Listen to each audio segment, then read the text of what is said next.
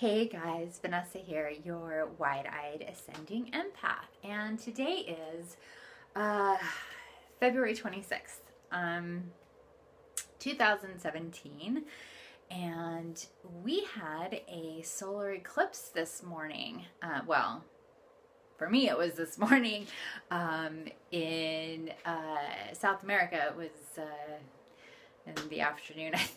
I think I'm not exactly sure what time it was, but anyway, we had a solar eclipse this morning. Um, it was 6:55, um, where it was at its peak exactly. Um, Ring of Fire is what it's called. I actually woke up um, or got up in preparation for it. There was uh, a global meditation that I was a part of. Um, I'll put the links down at the bottom so you guys can check it out and see what that's all about.